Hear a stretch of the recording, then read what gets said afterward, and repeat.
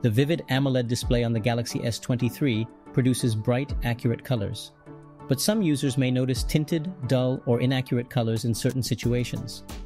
Here are some troubleshooting steps to fix display color issues on your S23. Before we move on, please take a second to like our video or even share it with your friends who might have issues with their devices. It's a great help for us. Now let's jump right into our tips. Disable the Eye Comfort Shield. Samsung's Eye Comfort Shield feature is designed to reduce the amount of blue light emitted by your device's screen. This can help reduce eye strain and improve your sleep quality. However, it may also affect the color display on your device. To disable this feature, simply go to your quick settings and toggle off the Eye Comfort Shield. Once you've done this, your device will no longer apply the blue light filter and colors should look more natural. Change the screen mode. Adjusting the screen mode can enhance the overall visual experience and make it more comfortable for certain individuals. It involves changing the display settings, such as brightness, contrast, and color temperature, to suit your personal preferences.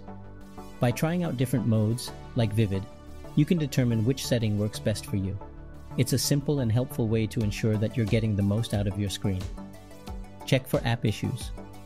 If you're experiencing display color issues on your device, it's possible that certain apps are causing the problem.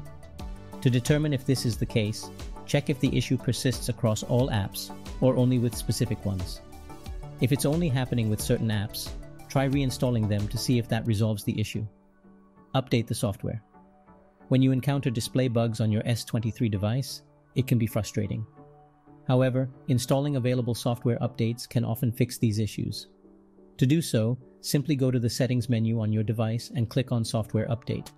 From there, follow the prompts to perform the update. This should resolve any display bugs you may be experiencing.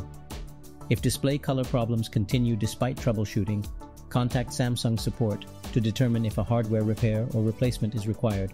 Be ready to provide examples of the color issues. We hope this helps. Thanks for watching.